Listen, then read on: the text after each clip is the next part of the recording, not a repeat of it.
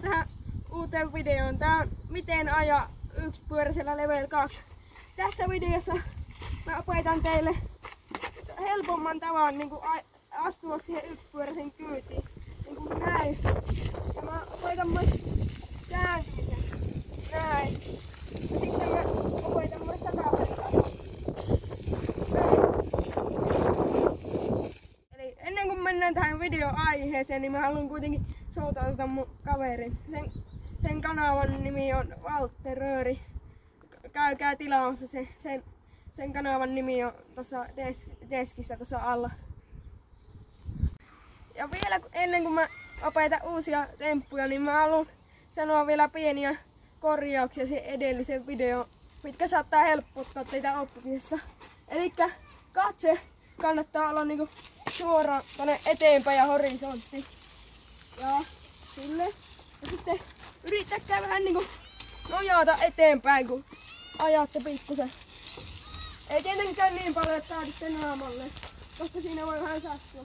Mutta kuitenkin, tai on se idea. Nyt videon pari. Ekana uutena temppuna mä aion opettaa tällaisen vähän hienomman tavan mennä kyytiin. Eli niinku tämmösen. Tää on ehkä jopa helpompi tapa mennä kyytiin sitä, kun sä oot opetellut tän. Eli tää, tää alussa on pikkasen vaikea. Mulla meni vähän aikaa opetella sitä. Eli ekana tää alku on helppo. Pistätte tän tähän, mutta ette paina yhtä. Jos te painatte sitä, siis tulee vaan suoraan säärille ja se muuten sattuu. Pistätte sen vaan rennosti siihen ja sitten nostatte toisen jalan tästä maasta siihen päälle, toisen polkimen päälle ja lähettämään polkemaan. Ja, ja joo. Ja tähän tismalle niinku osuminen, niin se tuntuu tosi hankalalta ekana. Mä ekana osuin minne sattuu ja tää tuli monesti säärä ja se koskee pikkusen.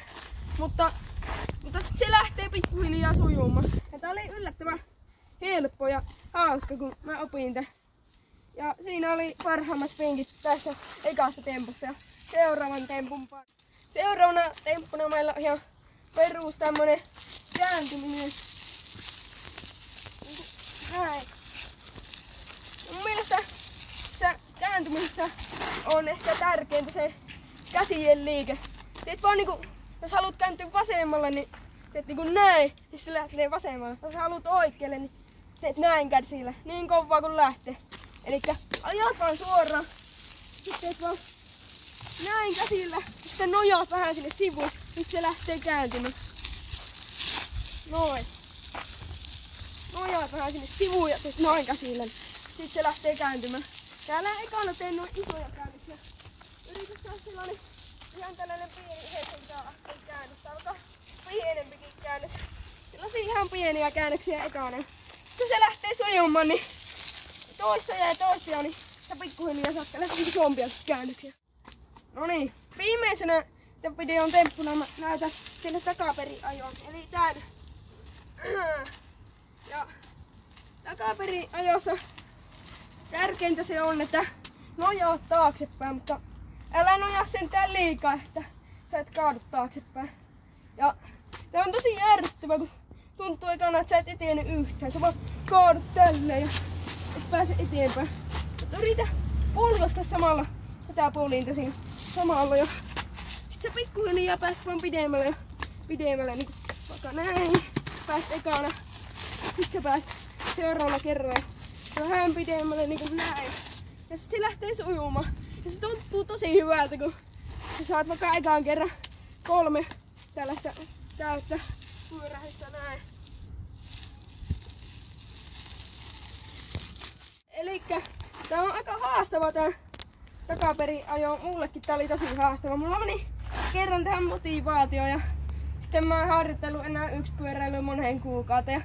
Sitten mä harjoittelin seuraavan kerran vasta parin kuukauden päästä ja mä aloin harjoitella kunnolla, niin sitten mä opin tän.